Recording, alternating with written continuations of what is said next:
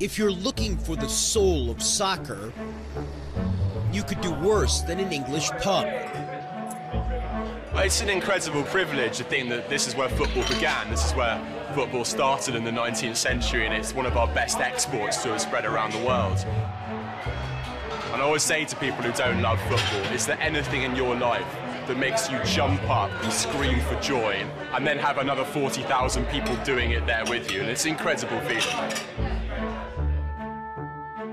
For nearly a century, Wembley in its different incarnations has been the spiritual and literal home of English soccer. This is where, in 1966, England won its only World Cup title. It was in this country in the 19th century that the game of soccer was created. And these days, the most vehement critics of FIFA and its president, Sepp Blatter, are here in England. The British media and FIFA I would say now, we may call it a very interesting relationship. In 2010, England was one of four finalists for the hosting rights to the 2018 World Cup. The day before the winner would be announced, Prime Minister David Cameron led a virtual pep rally in the House of Commons. We have got the stadia, we've got the facilities, we have the transport networks, we have the enthusiasm in our country for football, and we can put on an absolutely first class World Cup. The following day, December 2nd, 2010, the English learned their fate. 2018 FIFA World Cup, ladies and gentlemen, will be organized in Russia. Despite the entreaties of David Beckham and Prince William, England mustered just two votes. I think they was probably surprised at the scale of the defeat, but not surprised that, that we lost. Damian Collins is a member of parliament. But what's been more shocking is a rotten culture that pervaded that bidding process, the culture of the executive committee and some of the people on it, whereby they expect favours and rewards for their support. And that is the way that they they do business. Some things which were put to me personally, sometimes in the presence of others, which in my view did not represent proper and ethical behaviour. Lord David Triesman, the chairman of England's bid, testified before a parliamentary committee in May 2011. He said that four FIFA executive committee members had offered their votes in exchange for cash and favors. One wanted $4 million for an education center. Then said that the funds could be channeled through him and he would guarantee that they were appropriately spent. Another EXCO member wanted to be called Sir. He believed that a knighthood from the United Kingdom would be appropriate. And it was put to me that as a former Foreign Office Minister, I must know how these things are organised and could probably achieve it if we had a mind to do so. What we're talking about is people allegedly soliciting bribes. Uh, and that is a that is an offence, and is an offence around the world. And if you did that in business, then you could expect to be prosecuted for it. But it wasn't just the 2018 bid that seems to have been corrupted.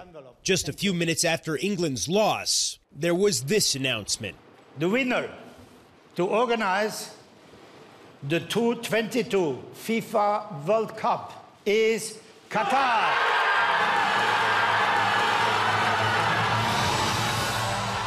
How did Qatar get the 2022 World Cup? Money. They bought it. I think that, that's you know that's how they got the World Cup. I mean, there's no other conclusion you could draw. That was also the conclusion of the British newspaper, the Sunday Times. In 2010, two Times reporters went undercover posing as lobbyists for the U.S. team bidding for the 2022 World Cup.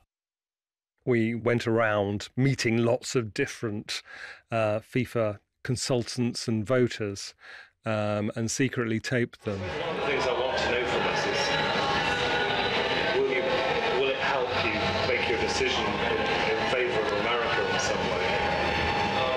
Obviously, it may, it may have an Of course, it may, it may have an effect.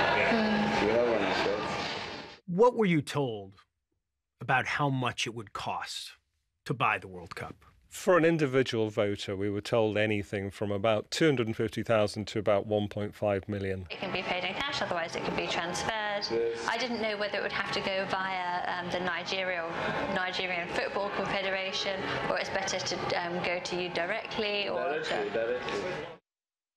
Heidi Blake and Jonathan Calvert have recently published The Ugly Game, the Qatari plot to buy the World Cup, based on their reporting for The Times.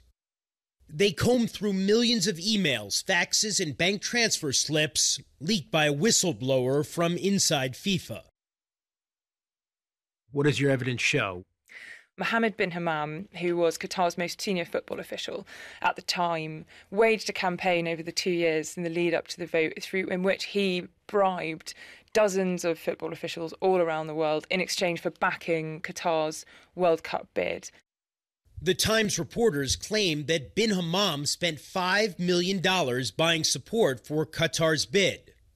One of the things he was very keen to do was create this big groundswell of support in Africa, and to do that, he would bring all the presidents of all the um, all the African associations to Doha, where, where they would be wined and dined, put up in the best hotels, given given cash spending money. Afterwards, they would write back to him saying that they'll support his country's bid for the World Cup, um, and then ask him for money. This is the same Mohammed bin Hammam who'd been accused of buying the votes that made Blatter FIFA's president in the first place. The Qatari billionaire and friend of the royal family had risen to become nearly as powerful inside FIFA as Blatter himself. Bin Hammam helped Blatter get elected in 1998 and in 2002. And Bin Hammam was on a promise that um, Blatter would step down and that, that he would replace him. Blatter went back on that promise, um, uh, twice in fact. In 2011, bin Hammam announced he would run against Blatter for FIFA president. But according to Blake and Calvert, just days before the election, bin Hammam was called to FIFA headquarters in Zurich. When he walked into the president's office, he was surprised to find not only Blatter waiting for him, but also a member of Qatar's royal family. Blatter did a deal with Qatar. The deal was that if Mohammed stood aside and didn't stand against Blatter for the presidency, then, then Blatter would do his utmost to make sure that uh, the Qatar 2022 bid was um, untouched. That night, bin Hammam withdrew his candidacy. FIFA denies that any deal was struck with the Qatari royal family or that any meeting took place on the eve of the 2011 election, which Blatter would win unopposed. There is not one single doubt that the World Cup 2022 will be organized in Qatar. Decision taken by the Executive Committee on the 2nd of December 2010 and not reversible. FIFA denies there was any deal between Blatter and the Qatari royal family. Through the histories, the dictators, when they think that this or that person is a prominent one, to replace him, first thing they do, they execute him. Blatter has cut off people who've helped him. Yes. That's what he does. Yes. Yes. That's no problem for him. You know. Mr. Bin Hammam was cut off, for example. Yeah. Loyalty doesn't mean much. No. Loyalty is rather a one way street for him. Blatter promised the 2011 election would be his last. Is he a man who keeps his word? No. And so, before the World Cup last summer, My mission is not finished. Congress, my vision, my mission is not finished. I am ready to accompany you in the future for the game for the world. But it's your decision, Congress, if you want to go with me. For the game for the world, thank you so much. This time, though, Blatter is not running unopposed. And the voices calling for change are louder than ever.